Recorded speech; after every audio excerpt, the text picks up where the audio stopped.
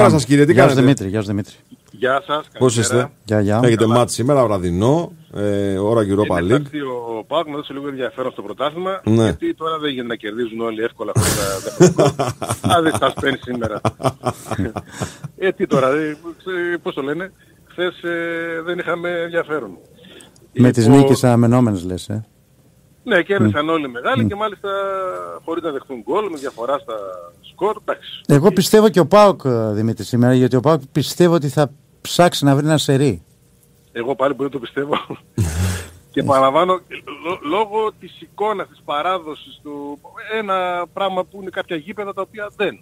δεν. Ναι. Ο- ο- Γιατί ε, μόνο ε, πέρσι έχασε, είχε χάσει και άλλη σεζόν. Ναι, έχει πιο πολλές νίκες έχει ο Ιωνικός Μάλιστα. από τον ΠΑΟΚ στο, στο γήπεδο. Νομίζω είναι 5-4-4, κά- κάπως έτσι είναι η, η παράδοση από τα προηγούμενα, τα παλιά χρόνια και το περσινό που ήταν πάρα πολύ ιδιαίτερο με τον ΠΑΟΚ να προηγείται τελικά να χάνει με, με 3-2. Ε, τώρα νομίζω ότι και ο Ιωνικός καλά είναι. Ε, ο ΠΑΟΚ έχει 5 απουσίες και τα λέω όλα αυτά γιατί είναι ΠΑΟΚ Ιωνικός αλλά δεν εμπνέει, δεν έχει σταθερότητα ο ΠΑΟΚ να πεις ότι πάει για ένα σερί, ότι έχει εύκολο τον γκολ, έχει...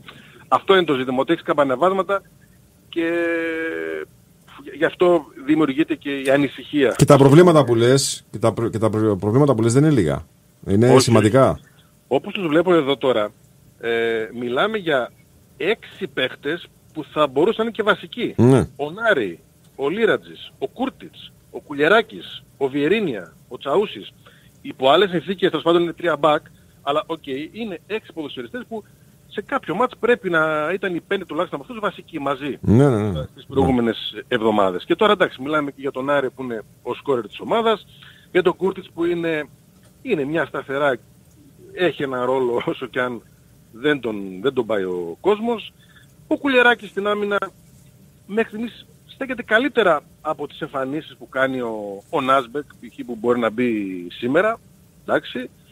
Ε, ε, όχι ότι δεν έχει λύσει ο ΠΑΟΚ και δεν θα παρατάξει ένα αξιόμαχο σύνολο, αλλά είναι έξι καλές αποσύσεις, επαναλαμβάνω, χωρίς το Λίρατζι, τον Άρη, τον Τζαούσι, τον Κούρτιτς, τον Κουλιεράκη και φυσικά τον Βιερίνια που λείπει καιρό. Μπήκε στην αποστολή μετά από καιρό ο νεαρός Αντρέ Ρικάρντο που παίζει στη β' ομάδα κυρίως, ένας ε, εξτρέμ. Τώρα στο βασικό σχήμα ε, ο Κοτάρσκι φυσικά στο τέρμα, ο Κροάτης που δεν είναι στην αποστολή για το Μουντιάλ. Ok, outsider ήταν για την Εθνική Κροατίας. Ήταν ε, ο τέταρτος πέμπτος, τέλος πάντων έμεινε έξω. Α, ο Ίνγκασον σίγουρα λογικά μαζί με τον Άσμπερκ. Στα πλάγια μπακ δεν έχει άλλους, είναι ο Ράφα Σουάρες με τον ε, Σάστρε. Στα χαφ μεσοαμυντικά ο Νταντάς με τον ε, Σβάμπ που έπαιξαν και προχθές. Στο 10 είναι σχεδόν βέβαιο ότι θα επιστρέψει ο Ντούγκλας Αουγκούστο ή τέλος πάντων ο τρίτος χαφ ε, γιατί δεν είναι ακριβώς 10. Δεξιά ο Ζίβκοβιτς αριστερά ο Κωνσταντέλιας και στην κορυφή ο, ο Ολιβέρα. Αυτή είναι η πιο πιθανή.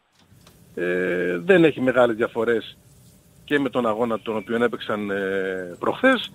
Ε, να δούμε και την τακτική, ε, τι θα προσπαθήσει να κάνει ο ΠΑΟΚ, που οκ, θέλει την μπάλα στα πόδια, θέλει να κυριαρχήσει, αλλά να προσέξει πάρα πολύ και τη μετάβασή του στη, στην άμυνα, ε, που πιστεύω ότι και ο Ιωνικός αυτό θα, θα επιδιώξει να τον ε, βρει στη μετάβαση και να τον ε, χτυπήσει εκεί. Ε, είναι μαζί με το Βόλο το κυριακάτικο του ΠΑΟΚ δύο τελευταία παιχνίδια. Θα διαμορφώσουν μια τελευταία εικόνα για τον ΠΑΟΚ. Μπορούν να τα ανεβάσουν και αρκετά στη βαθμολογία αν τα πάρει ε, και τα δύο. Είναι ένα κομβικό σημείο Ναι, νομίζω, είναι, είναι σταυροδρόμι τώρα. για, όλη το- για, για τη χρονιά του ΠΑΟΚ έτσι όπως είναι με τα σκαμπανεβάσματά του και με το πόσους βαθμούς έχει χάσει μέχρι τώρα. Βαθμούς που θα τους κλαίει για καιρό από ό,τι φαίνεται. Ε, ειδικά αυτούς που έχουν στις καθυστερήσεις. Πάντως, να σου πω των- κάτι, των ναι, αγώνων. έχει μείνει πίσω όσον αφορά την κορυφή, αλλά η δεύτερη θέση δίνει ένα όραμα στις ομάδες και ένα κίνητρο που μπορεί να συντηρήσει τον ΠΑΟΚ που τώρα είναι και απαλλαγμένος λίγο από το άγχος του πρωταθλητισμού, έτσι. Αλλά έχουμε τη δεύτερη θέση, άμα κερδίσουμε σήμερα, στους 6 πόντους. Ναι, ναι.